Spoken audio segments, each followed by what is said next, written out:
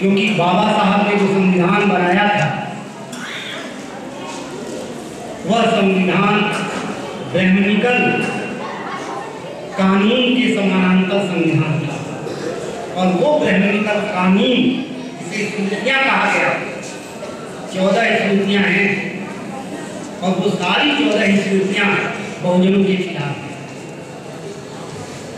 दोस्तों, मैं थोड़ी सी इतिहास और संस्कृति की बात करूँगा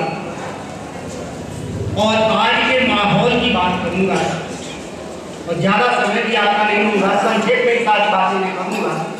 लेकिन इतना ज़रूर कहूँगा कि जो बात मैं कहूँ, उसको आप लोग अमल कीजिए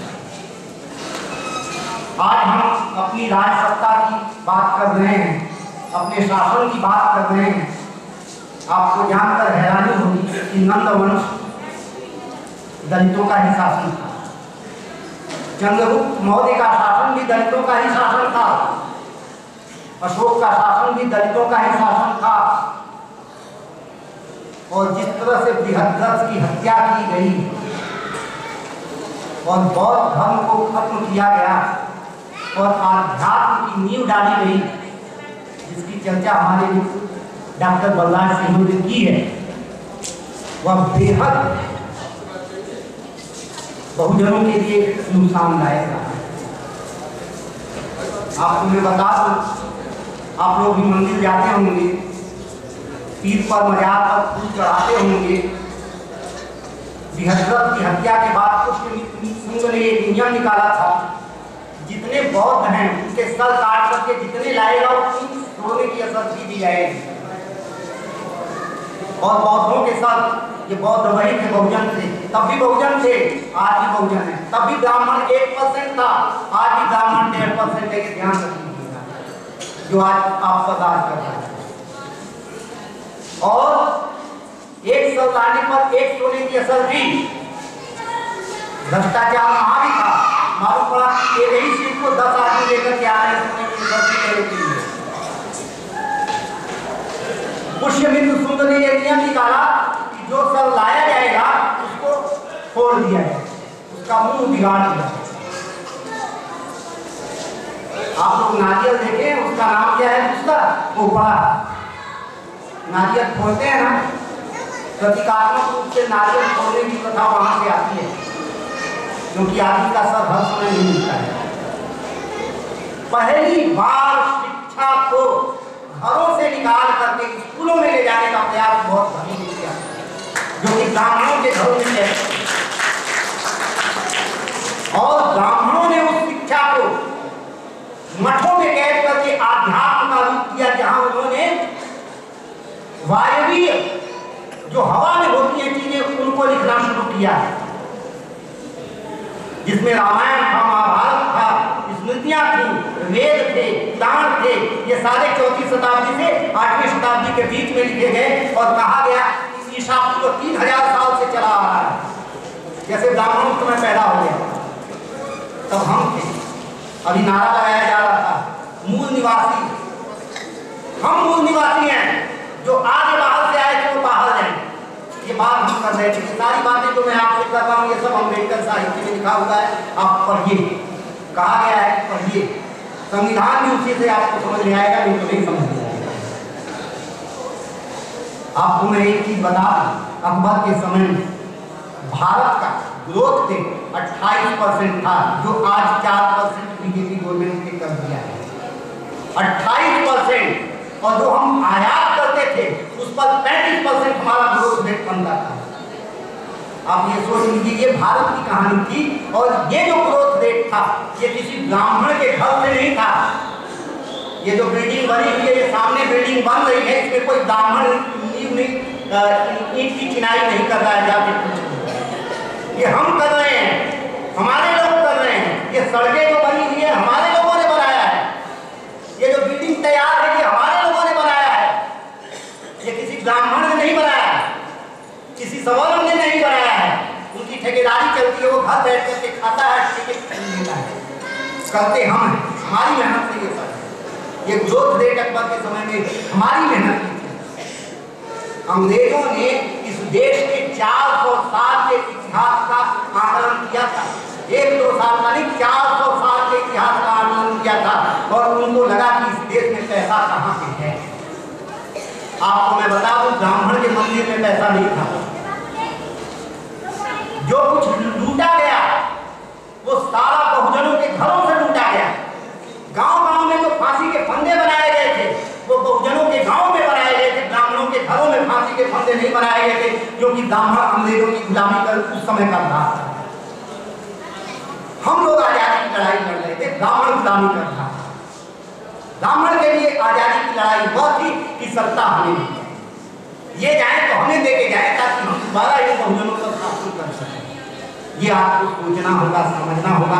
अठारह सौ तिरपन का डॉक्यूमेंट न्यूयॉर्क डेली टाइम्स में छपता है। हिंदुस्तान के लिए, कि हिंदुस्तान में जो कुछ भी पैसा है, वो बहुजनों के पास है। अंग्रेज़ उसी को देख करके हिंदुस्तान में आए थे, न कि ब्राह्मणों के मंदिरों को देख करके आए थे। ये ध्यान रख लीजिएगा ये समझना होगा। आपको मैं एक और चीज़ बता दूँ।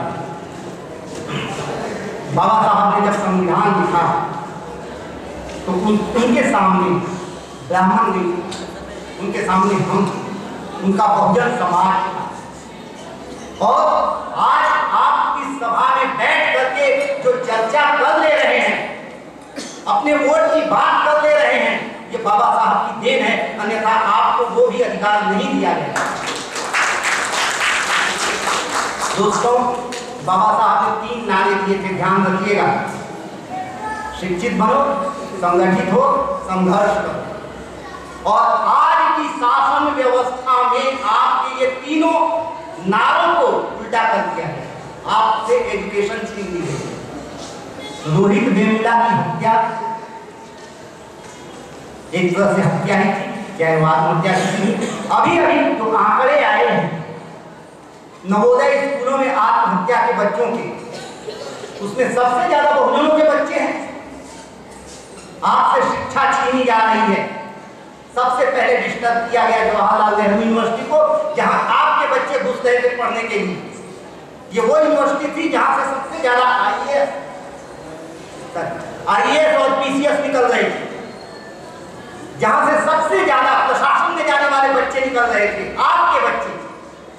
उसके बाद हैदराबाद यूनिवर्सिटी, उसके बाद Allahabad university, Banaras Hindu university, Aligarh university, तमाम विश्वविद्यालयों पर जो अटैक हुए, शिक्षित बनो बाबा बाबा साहब के नारे के अगेंस्ट क्योंकि आपके बच्चे इन विश्वविद्यालयों में पढ़ने के लिए आ रहे थे, इसलिए कॉन्सेप्ट हो जाइए, होशियार हो जाइए, भविष्य के लिए। और संगठित कैसे रहिएगा? कितने टुकड़े में आप बटे हुए हैं? बीजेपी में भी आपका आदमी है तो आपके लिए आपको खोखला कर रहा है। तमाम पार्टियों में आपका आदमी है जो आपके अपने अधिकारों को का हनन कर रहा है। और संघर्ष की स्थिति कहाँ बना पाइएगा हम और तमाम विश्वविद्यालय के प्रोफेसर बच्चों को पढ़ा पढ़ा करके थक जाते हैं और उनके मन में एक ही बात होती है कि कोई छोटी सी नौकरी मिल जाए। धागा बाँध करके आ जाएँगे गले में कंठी माला होती है, अंगूठी पहन लेंगे। पता नहीं किस किस के यहाँ मंत्र पढ़ करके चले आते हैं। इससे मुक्ति नहीं मिलने वाली आपको एक चीज़ मैं बता दूँ। बाबा साहब ने कहा था, शिक्षित बनो। आप अपने बच्चों को स्कूलों में भेजिए पढ़ाने के लिए। अगर वो पढ़ेंगे, उनके लिए रास्ते अपने आप खुले हुए हैं। नहीं पढ़ेंगे कोई भी गुमराह करके, उनको दारू पिला करके, उनको नशा दिला करके, उनके परिवार को बर्बाद कर सकता है, उनको बर्बाद कर सकता है, आपकी एक पीढ़ी को खत्म कर सकता है। और आप हमेशा के लिए ध्यान रहते हैं यहाँ माताएँ बैठी हुई हैं और तमाम बुज़ुर्ग बैठे हुए हैं। माताओं के ऊपर परिवार का पूरा का पूरा बोझ होता है। वे इस बात को अच्छी तरह समझ लें कि किस तरह से समाज को व्यवस्थित किया जा सकता है, ये उनकी नींव में है। वो समझती हैं चीज़ों को। बुज़ुर्ग समझते हैं कि संघर्ष क्या होता है। हमारी ये जो पीढ़ी है, ये समझ रही है कि हमें कितने कष्ट मिल रहे हैं। आपकी नौकरी खत्म कर दी गई प्राइवेटाइजेशन कर दिया गया। जैसे कि आपने आरक्षण मांगा है सरकार से।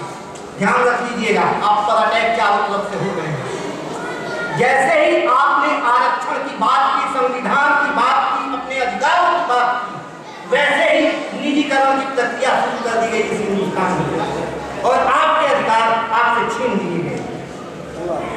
दोस्तों, मैं ज़्यादा नहीं बोलूँगा ज़्यादा नहीं बोलूँगा, लेकिन इतना ज़रूर कहूँगा कि आप अपने बच्चों को शिक्षित करें और संविधान मनुस्मृति के पैदल है ये ध्यान रख लीजिएगा।